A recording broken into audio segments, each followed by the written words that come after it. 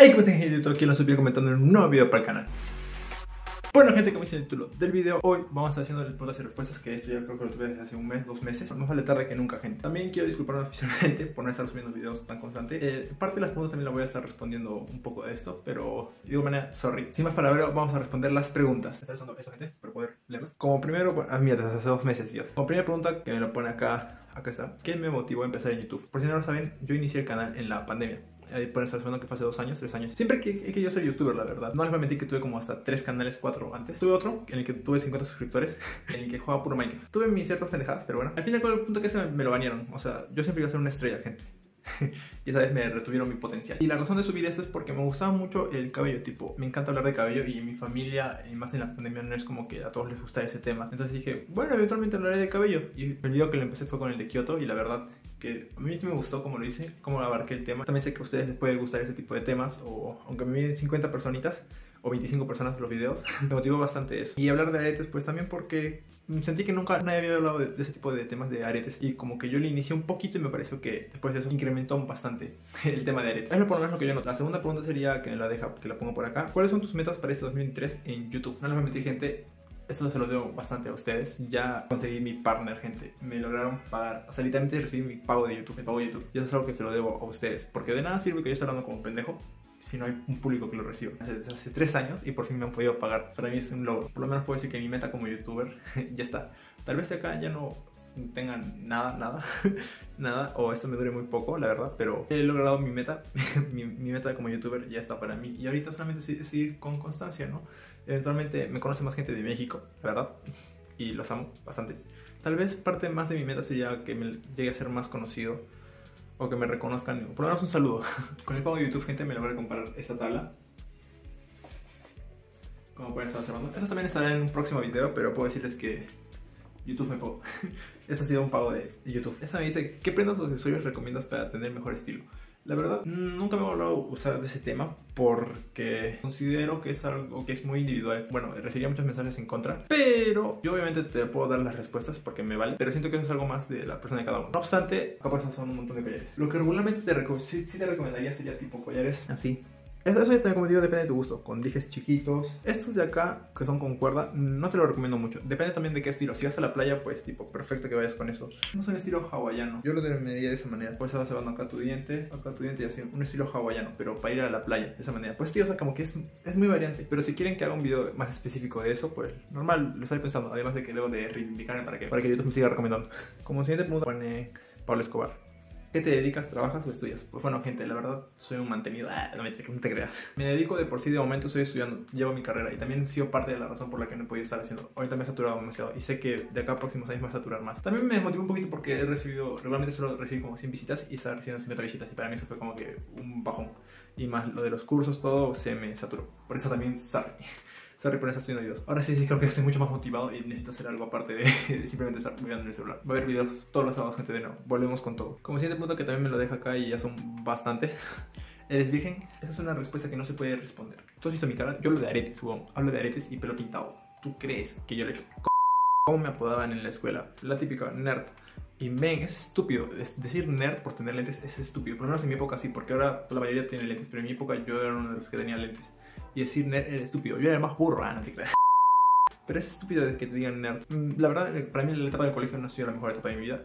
Me decían cantinflas justamente por lo que tenía bastante bigote. Porque lastimosamente yo tenía mis hormonas tan masculinas que esos pendejos eran unos latinos de mierda, como mujercitas que son, que no tenían vello facial y se burlaban de mí. Eso también depende, gente. A mí por lo menos sí me afectaba lo que decían porque yo los consideraba como amigos. Si quieren que hable del tema del bullying, pues eso también otro video aparte. Pero es un poco lo que yo he sentido. Una relación tóxica. Es que yo me doy cuenta del toque de las relaciones tóxicas. Y tú debes también darte cuenta. Desde que el momento en el que la persona te prohíbe, eso ya no es una relación. Sal, sal de ahí, sal de ahí. Una relación no se debe prohibir, debe ser de parte de ambos. Al fin y al cabo todo es confianza. Y no. He tenido, bueno, ni siquiera ha sido como una relación porque durábamos un mes porque todos me engañaban, en Así que te puedo decir que yo, yo he sido el más estúpido. Mi recomendación, consíguete una chica que sea buena una chica que sea buena y que no sea tan movida. ¿Qué persona te inspiró a hacer tu contenido que hayas sacado? Ah, la verdad, había muchos youtubers que les cortes el cabello. Por ejemplo, está Monty Barber, que ese también me gustaba. El de los aretes sí fue una idea, tema mío. Vi el contenido y dije como que tipo, yo puedo hablar de muchos más traperos, porque solamente mencionaba como un cierto par y yo, como les he mostrado, he mencionado un montón desde rockeros y todo. Y eso es lo que me gusta. Por lo menos te puedo decir que por ese aspecto puede ser que tenga competencia, pero trato de aumentar más mi mercado y aunque mucha gente no lo vea, eh, yo me siento satisfecho con los videos. Perros o gatos, la verdad es que soy más de perros. Eh, depende de las personas, si quieres afecto, necesitas un perro. De recibir cariño necesitas un perro. Si quieres una, una, compañía nomás un rato, va a ser el gato. Y eso que a veces te va a ir y se te va a perder. Pero yo prefiero más a los perros. Aunque ahorita creo que prefiero los gatos. No, quiero ninguna mascota. no quiero ninguna mascota. ¿Cuál tipo de música me gusta? ¿Tú crees que lo de traperos por las huevas? La música que me gusta regularmente, ahorita, he vuelto con el metal, metal satánico, black metal, todo eso. Por eso el, tenía un pentagrama en mi skate. Soy de escuchar música muy variada, pero en un principio, como les digo, yo escuchaba bastante rock. Y la gente te discrimina por escuchar rock metal. Eventualmente escuché reggaetón por querer encajar en la sociedad. Y no es necesario que tú quieras encajar en la sociedad. Pero eso también me ayudó pues, a socializar más. La razón de, hacerlo no era la correcta, pero al hacerlo, X. Me gusta la gente que clasifica ciertas músicas y se considera que son inferiores a la suya. La música es música, disfruta la música y ya está, sé feliz. Un suceso paranormal, eso también lo llevo con un suscriptor, pero la verdad es que nada. La verdad no creo mucho en los sucesos paranormales, creo que todo tiene una explicación, pero hay cosas que sí son medias pendejas. Pero es, es un tema muy curioso. Les recomendaría el antipodcast ese porque habla bastante de esos temas y es súper chévere. Llorar por amor, eventualmente sí, siempre lloras, hasta que te das cuenta que es una estupidez. Depende del tipo de persona. No, no lloras por una, por una que no fue buena contigo y tienes que darte cuenta. Valórate. La cuestión es que si tú te valoras, no vas a llorar por una persona. Si terminaron fue por algo, no fue por la juega. Así que valórate. No llores por una persona. Si vas a llorar, llora por tu madre que falleció o con tu abuela que fallece. Cuídalos. Ellos importan. La pareja eventualmente no, es una compañía. Pese a todo es una compañía emocional y física. Pues crear mi propia canción. Sí, también, también hablado con un suscriptor y estamos haciendo un poco de beats. Y también, como les digo, acá les vamos a hacer un par de letras que suelo crear. Pero es que también luego digo, la música, a mí capaz me muero de hambre y no, y es un proceso creativo. Me gusta escribir más que nada. Tal vez lo haga, pero como les digo, no espero un recibimiento masivo, ser el próximo Bad Bunny. No. A veces también es mejor el anonimato, o sea, como que ir por la calle no estar tirando celulares y que todo el mundo te esté fotografiando. Estoy viendo eso. Una vida cómoda, poder ganar plata, como con esto, como con YouTube, digamos, un poco más de ingresos y ser feliz. No es necesario que todo el mundo te conozca o ser alguien súper inmenso. Un canal de juegos, sí, la verdad es que sí. Había hecho una vez un preguntas y respuestas antes y parte de eso quería hacerlo. De momento no.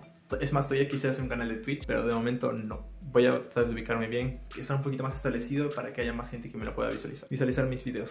Tengo una altura de 1,78 m. Soy moderadamente alto. En mi país soy tamaño más que el promedio. La verdad sí cumplido un par de sueños. He llegado a los 18 y créanme que le fue, es un tema aparte, pero he llegado a los 18 y eso ya es, una meta. YouTube me pagó, YouTube me pagó, para mí también ha sido un sueño desde pequeño. Yo antes miraba ver a 777 y decir que ahora me pagan a mí por haber subido videos, pues súper chévere. Otros sueños que tendría sería terminar la carrera y pues bueno, también estoy cumpliendo varias metas. Más que sueños, metas. Porque los sueños es algo que puedes aspirar y que tal vez nunca va a suceder porque sigues soñando. Estoy cumpliendo bastantes metas. El de poder, si que yo sentí que tengo amigos, estar conforme conmigo mismo. Güey, tener aretes, eso ha sido un sueño, un piercing acá. Un... Son varias metas que yo he podido estar viendo en, en mi... Me gusta cómo estoy llevando mi vida. Espero que ustedes también puedan llevarlo de mejor manera. Mi película favorita, la verdad, no tengo. No, nunca me considero una persona muy de estar sentada y mirar pantallas. Son un poco estúpido, pero bueno. Pero las películas que sí te diría que son muy buenas, que a mí sí me han gustado bastante, sería la de la de Tren Bala, en la que también aparece Bad y esa película es, te juro que no me canso de eso. Los personajes, la historia, todo, nada y todo al mismo tiempo. La película que ganó el Oscar el año pasado o este año, esa también es súper top. Si puedes ver esa película, una obra maestra. Otra película también la tenía en mente, pero se me olvidó. También soy mucho más. Más que series, soy bastante Power Rangers. Así que Acabas de con cositas de Power Rangers por ahí y estaría hablando de eso. Creo que esas serían todas las preguntas, gente. Déjenme corroborar. Y sí, gente, esas serían todas las preguntas. La verdad, muchas gracias a estas seis personitas que me han podido dejar las preguntas, aunque son cinco o cuatro. De muchas gracias porque el video también está que se extendió un poquito y era lo que más quería. Muchas gracias, gente. Espero que les haya gustado el video, gente. No se olviden darle un like, suscribirse, compartir y comentar qué les ha parecido. He contado un poco de mi vida, más mis sueños y un poco de, un poco de mí y espero que puedan valorar. No se olviden gente que subió todos los sábados y nos estamos viendo el próximo sábado.